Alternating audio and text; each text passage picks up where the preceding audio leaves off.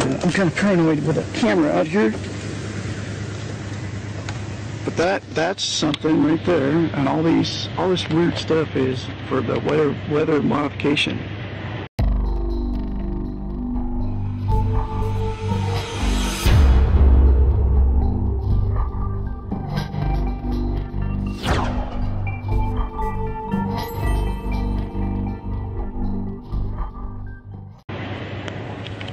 That is right there. There's the chemical tanks right there, and whatever that thing is up there. I am definitely at the right spot. Let's go see. They got a camera on me right there. There's a big old ball on the top. I don't know what that is. Okay, I'm in. Hi. Do you know where Weather Modification Inc. is? Yeah, you're close. Am Are you I? meeting somebody? No, I just, I just kind of want to find out what they do. Here, I'll get someone for you, okay? Thank you.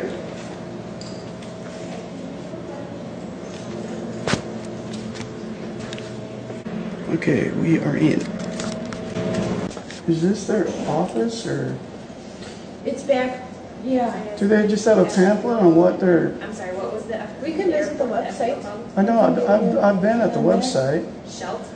I know they say that they're, they do weather modification. Uh, Okay, sounds good. Um, I just kind of like know how they do it. look here, can you, Um, so they go up and depending on where they are in the country or the world, they're either um, measuring atmospheric conditions. Mhm. They are trying to reduce hailstone sizes in thunderstorms. Right. By use of um, chemicals or whatever they, So they do use chemicals in the air to, to manipulate the weather? as I understand it now. Really? I'm not an expert on it. I mean, I can put you in touch with other people, but yeah. Wow. Yeah, it's pretty, it's pretty, pretty neat. And again, they do it, like, I know they've got a contract where they've actually made it rain in Africa. They, there's, this place has. So they have contracts all over the world. Wow. Yep. yep, yep, that as well. It's been in business for a couple, uh, well over a decade Do you now. think, do you think any of them would talk to me on camera, doing a documentary? Possibly. I can put you in touch. Yeah, can you? Yeah, let's see what we can do. Where are you from? I'm from Oregon and went all across the United States talking to people about different things. This is one of them, Okay. about uh, weather manipulation, weather modification, whatever. Okay, you heard all that. They're coming down to talk to me. Yep. You with the TVs? Yes. Oh. Oh, how you doing? Good. My name is Doug Bickford. Jody Fisher. Are you, are you one of the pilots that does the weather mod? Yep. Sure. Now, can you, would you like, can you be in a video of me? I'm doing a documentary about what you guys do. Can you just tell me what you do? I can't be in a video until I get approved by somebody else. Oh, you gotta get it. Yeah. Okay, I'm only here for like a couple hours. I ca- actually came from, well, not came from working to do this place, but I'm passing through. Okay. And I, it, it intrigues me that you guys, what you do. Uh, Flying through thunderstorms. so Is that what you do? Yep. So you fly an airplane that has chemical attachment, things that Yep. We use silver iodide. silver iodide. Yeah. And it's, and the reason we use it, it's inert, it's environmentally safe. Right. And the amount we're using over the area you use, you'll never find it in the background, you know? Um, Now, what- but what But it burns and it's, when it burns, it burns into a crystal form. And It mm-hmm. looks just like an ice crystal. So when you Right. put it in the cloud, the water says, hey, it's one of my own, and it attaches to it and freezes. Okay, so it makes, so it makes clouds, basically. No, it makes ice. Also, it makes ice. Yeah, the cloud already has to be there, the water has to be there. Right? So the ingredients have to be there, but sometimes the ingredients are there, and in the natural process, it doesn't multiply and get going, so then nothing comes out, no rain, no snow, whatever. Right. So are there, is there currently projects going on in the United States right now? Yep, we have a project in North Dakota for rainfall enhancement and hail mitigation. Really? Minimizing the effects of hail. We have one in Calgary. So you, you can stop hail, is what you're saying? Minimize the effects. Minimize the effects of hail. Yeah, Make it small. yeah, But so can you, can you cause, uh, it not to rain too? no, Yeah, not my experience. So, but, The but, Chinese say they can, I know that they can. yeah, yeah, because, uh, you. The Olympics, The Olympics, right, so you know about that. Yeah. They said they stopped rain. Yeah, well, So we, we haven't perfected that in the United States? No. Or you guys haven't? Well, we haven't, I don't think anybody has. in the Really? world. Chinese say they do, but scientifically, when they explain it, it doesn't make sense. Right, so when you get your, when you get your orders, you just fly where they tell you to fly, right? For the most part. I mean, we're, when we're working, we're on a contract with somebody, a state government, a state entity, a foreign government. Right. Or a water district, you know, that has hired us. So we have an area that we can only fly in. Right, whatever, that whatever, area, whatever your, whatever Whatever your, project area is. right, and so you get, you get contracts from the United States government, right? Nope, Or you don't, nope. but other gov- governments, o- other countries. Yeah, like counties, like North Dakota, there are four counties that get together, vote on Uh-huh. it, levy their taxes, and then the state, through the state of the, of North Dakota, they also get a little bit of funding, I think it's like ten percent. Really? And then that's it, then they, they pay for it themselves. Um, So the like, county, the county, the state The county. government pays for it? The counties pay for it by, by voting on it and levying mills. to Really? get taxes, yeah. Wow. Now, some places, a water district, they'll take their, I don't know where their money comes from exactly, but like a watershed area. Right. And they'll take probably taxes as well, and they'll set it up, vote on it, yep, we're gonna do this project. So Some the- places are power companies, like hydro water companies, they'll pay for it themselves. Right. And Calgary, an insurance company pays for it. So I saw a, a thing out there, you have the lime ones too, the, the, Yep. that one out there that I saw in the parking lot. Yep, that's for, um, uh, for snowpack in the mountains. Really? So is there other? other We got contracted in Sacramento. Oh, you did? Down there for, but that's for snowpack up near Tahoe. Right, to, to make it snow more, get more snow, Yeah, so right? that their watersheds and their, their water levels will fill up. Yeah, so silver iodide, that's what you guys use? That's the Yeah. only thing you guys use? Yep. Okay. All right, that- that's great. Thank you, sir. I appreciate it. If you want more technical information Yeah, what can you about get? it, like science stuff, I can give you, this is our scientist, Okay, Boe. I just happen to have one, so I thought I'd bring it, but uh, his Right name on. is Bruce Boe. and this is on website? Yep, and that's his email. You can email him, tell him who you are, and you're looking for some information. He can give you the scientific, technical information Okay, that, uh, if you're looking for that kind of stuff. okay, sir, thank you. I appreciate it. Yeah, no problem. I will, uh, definitely be running around here. Okay, thanks. Thanks. Yeah. Out. I can- I can- These, guys are taking a radar down and changing it out, so. Is this your radar on top here? Yeah. Oh, so that's for you guys? This one here? Yep. Okay, thanks. Yep.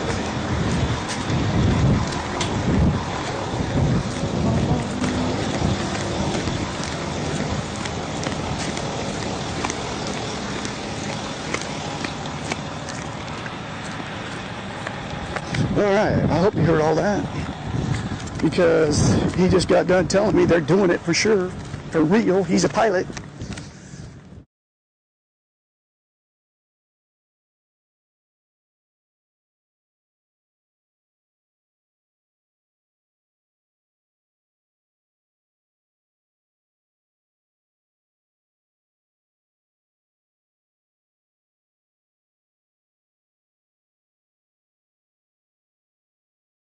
Hi everyone. I just wanted to touch base with you real quick. Again, I'm always touching base with you. Thank goodness none of y'all had bases for real. Silver iodide, just real quick on this video, I want to go ahead and make sure that everybody understands the definition and forgive the dog in the background here. We'll, we are real people with real radio. Silver iodide is an inorganic compound with the formula AgL. The compound is bright yellow solid, but samples almost always contain impurities, of metallic silver that give a gray coloration. The silver contamination arises because AgL is highly photosensitive. Okay? They're putting this stuff in the clouds. Now that you know that, which is way up there by the sun, right? A lot closer to the sun than we are. Okay, so this property is exploited in silver-based photography. Silver iodide is also used as an antiseptic in, in cloud seeding. Okay, so the structure adopted by silver iodide, you can look this up on Wiki. Actually, everybody can do that. You need me to uh, just tell you all that stuff. But here we go. If you look at, here's all your chemical properties and your identifiers, etc. The structure, thermochemistry, safety data sheet, which I'm about to go into next, um, flashpoint, and, and etc. Okay, it is very important that everybody knows what they're breathing. I mean, you wouldn't smoke a cigarette. If you're not a smoker, you would not smoke a cigarette, right? You would have informed consent. You know that cigarette's not good for you, smoking's not good for you, so you wouldn't smoke a cigarette. But you have no choice in the matter of cloud seeding or weather modification, chemtrails, whatever you want to call that, okay? Material safety data sheet, it doesn't cover this one thing, so I will have to Google it. So watch this. We shall do that in just a moment here. Silver iodide. I'm showing you how I do research, folks. Okay, you get to see a little bit of my brain here again. Silver iodide, MSDS. Okay, we're just going to go ahead and pull that up. PDF, M- MSDS for silver iodide. We're going to see how dangerous or not dangerous it is. Here we go. Reactivity, health, it's a 2. Okay, so what you do is go on down here, composition, hazards identification, potential acute health effects. In case of skin contact, it's an irritant, eye contact, irritant, ingestion, or inhalation, which we will be doing if they're putting it in the sky and spraying us with it. Carcinogenic effects means not, they say not available. What that means is that they're not looking. Okay. Mutagenic effects, again, not available. I don't think they're looking at it. They're, if you think about it for 20 years, if you're breathing this stuff up, what's going to happen? So the first aid measures, wash with water. So with serious contact, skin contact, what does that mean? Is like if you take a di- if you dive into the vat of it, I'm suppose I'm supposing that's what they mean by serious skin contact. Antibacterial cream, which is interesting. So what this tells me is that this stuff is going to remove any antibacterial properties that your skin has, basically that. And seek medical attention. Inhalation, allow the victim to rest in a well ventilated area. Um, serious in- inhalation, not available. I don't know why. Indigest or ingestion, indigestion. Yeah, I'll give you that. But anyway, don't induce vomiting. If the victim's not breathing, of course, perform mouth-to-mouth resuscitation. Duh. Some of this stuff is silly. But anyway, risk of explosion of the product in presence of mechanical impact not available. Really? Risk of explosion of the product, presence of static discharge, again not available. Accidental release measures. Use proper, appropriate tools to put, put the spilled solid in the convenient waste disposal container. Finish by cleaning and spreading water on the contaminated surface and dispose of according to local and regional authority requirements. Use a shovel. It's a. Uh, we're going to use a shovel to shovel the crap that they've been giving us. Anyway, don't imbre- don't ingest. Do not breathe the dust. Well, they're just spraying it up in the clouds, and when the cloud when those clouds do rain or the ice does come down, guess what? That water evaporates again, and guess what? We're breathing in the dust. Too much not availables, and this stuff has been present in our in our environment for quite some time. But there's your material safety data sheet. This does this is nothing near as bothersome to me as the stinking thimerosal, for instance. We've done things about thimerosal. That's really toxic. That's really bad. But there's not very much on this. Don't breathe it in, it says. Don't breathe it in. They're spraying it in the air. Imagine that. So you can imagine why I'm a little bit perturbed about this. I I ask everybody to exercise due caution. More importantly, what I'm really impressed about is the citizen journalism that's going on with this man. What he did and how he did it. He didn't go in there and present himself as an activist. What he did is he went in there surreptitiously, had his phone on record. You can tell that he was, he just had his phone on record and he was recording everything that was going on. He even managed to get the building number. He didn't put the street number and things like that on there, but that's okay. He got the building number, got people's names, got this information. Citizen journalism, this is what it's about, folks. This is what we have, where it has come down to now. We must do it ourselves because the mainstream media is not going to talk about it. They're not going to talk about it unless they are permitted to. Those who do talk about such things that are sensitive to the mainstream media and the powers that are controlling all of this stuff, look at Ben Swann. He's not on CBS Atlanta anymore. He's talked about a lot of different topics that we in the alternative media talk about.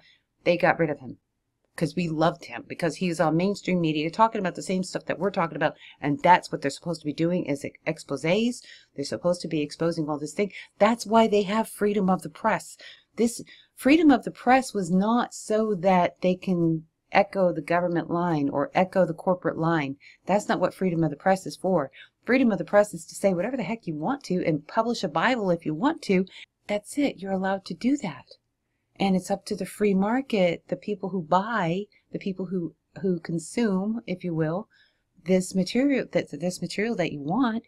It's up to you to support them. That's what freedom of the press is And then we also have the social censorship. And that's where people get on Twitter, Facebook, they get shadow banned. Now, those of you who don't know what shadow banning is, uh, look it up, okay? Or I'll do another video in the future. I'm not sure which, whatever happens first. How's that? Okay. Anyway, I love you guys. I got, I just wanted you to see this and know what's going on. This is real citizen journalism right here. Congratulations to the fellow who did it. I have no idea who did it. Okay. I just saw the video, downloaded it, thought I'd upload it again for y'all. I love all of you. I love everybody who's got the balls to go out there and do the right thing. Bravo. Find your quantum connections at truthfrequencyradio.com.